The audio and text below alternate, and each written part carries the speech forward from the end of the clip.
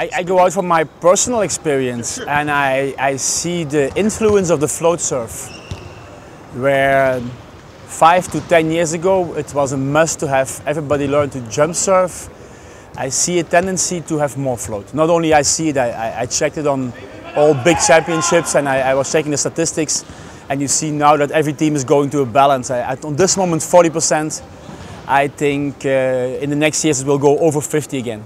You need or really good jump serve or really good jump float and that is um, a big change I think. It's very interesting to mix them eh, in the sense that um, I met already the coach from the, the German women, eh, Mr. Guidetti, and uh, we started to talk and we were directly talking for three hours because you find so many common things and different things and you ask evolutions and how they train. So in general, I find women technically a bit better.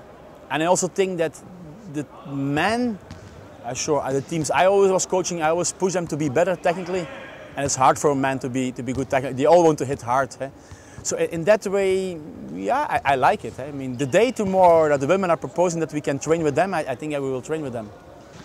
What makes me proud? Uh, of course, the results have to be very fair. I mean, I came there on a moment the results were not that super. And, and today we are working 64 days together. In the 64 we qualified for Olympics. We are here on first time in the history on, on, the finals of the World League. So results are one part, I have to be honest. Not that, normally it's not so my big thing. The second of course is the, the good cooperation between staff and players. We enjoy it. It's every day fun to be here, to be with them, and I like to have fun in, in sport.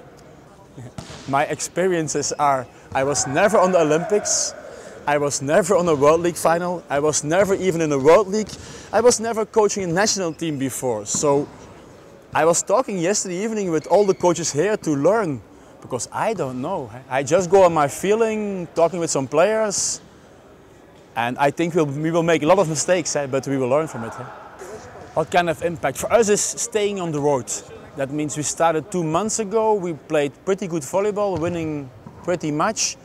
So for us it's important to stay on the road. That means if we can come one more round here, it would be an amazing success and the team will go on the flow, on the, maybe a bit on the clouds we are sitting. We're sitting too high, that I know, but it's too early to fall off and too late to repair. If you follow the cloud this weekend, it will have an influence on, on the Olympics. If we can stay on our cloud, I believe on, the Olympics even we can win some games. Eh?